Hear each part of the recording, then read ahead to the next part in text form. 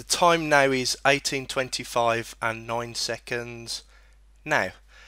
Okay, thank you very much for joining me. Um, would you mind stating your name and occupation, please? My name is Alfred Kroner. I'm uh, at the University of Mainz in West Germany, and I'm a professor, a retired professor of geology. Now, under UK law, I must inform you that this communication is being recorded. Do I have your permission to make these contents public? Sure. Thank you very much. Um, now, I'm just going to ask you a few short questions. Um, the first one I'd like to ask you, um, you were the Alfred Kroner that featured in a video um, commenting on the Quran. This was back in the late 80s, uh, late 70s or early 80s. Um, can I ask what circumstances led to you attending this conference? Well, there are no special circumstances. This was a professional conference where many foreigners and uh, Arab people were meeting because it was the first time that a major research project had been undertaken in Saudi Arabia.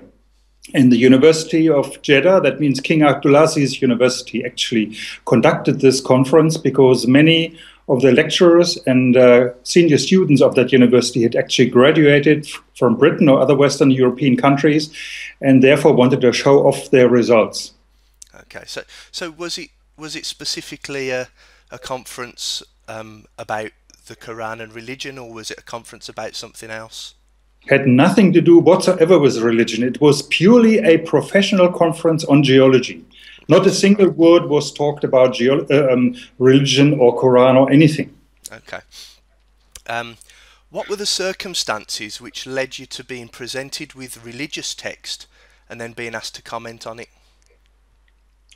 Well, during the conference, there was an interview in Saudi TV organized by the then vice president of that particular university.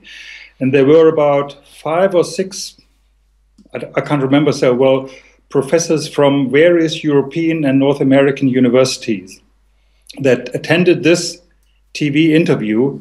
And it was there for the first time that uh, we were confronted with these questions um, to what extent the Quran was compatible with present day thinking in earth sciences.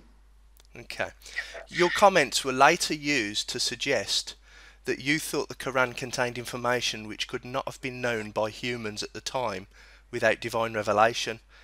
Do you think that this accurately reflects your opinion at the time? Well, that was not at all the purpose and the discussion that we had. The discussion was they were reading us certain verses from the Quran and then they would say, is this compatible with present day scientific knowledge?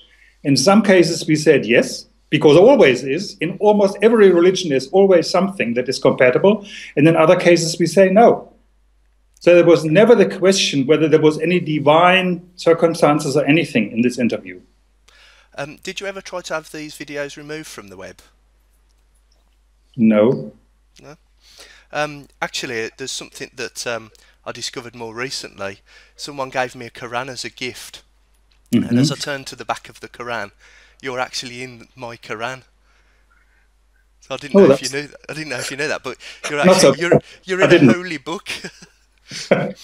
I have seen this. I have also I have a copy of this at home. I read it many, many, many years ago, but it had nothing to do with that particular meeting. Yeah. Um, have you looked into the subject any further since uh, this event, no. and has your opinion changed since the event, or? Well, you see, this conference was, I think, in '79, and nothing happened. And you know, this whole thing with the internet actually came, only came up about maybe four years ago or something. I can't even remember. And then somebody sent me a message on the internet and I replied and I said, Oh, I'm very surprised, but this is not how it was, and so on. And then continuously more messages came. And then I talked to people in my department. We have a geography department where there are uh, two people who are really speaking Arabic and they're Arabists, as, as you would call them. And they really know the Arab world extremely well. And I told them about this and I said, Look, there's nothing you can do. You just have to live with this, leave it alone, because we can't advise you to do anything. It will not help. Um, finally, may I ask, um, did you become a Muslim as a result of this event? No, I've never been a Muslim before. I've never been a Muslim afterwards. okay. And finally, to wrap up, um, could you confirm are the opinions that you've stated in this video interview your own? This one that we are talking about right Yes, now? We're having right at this moment. Sure, this is my own opinion. Okay. And have I offered you any reward for this, um, financial or otherwise? No, not yet. Yeah. I won't be offering you anything either. um, okay, well, thank you very much, Alfred, for agreeing to do this interview, and um, I'll try to make sure that as many people mirror this video as possible. Um, Sure, The time okay. now is 18:30 and 39 seconds now.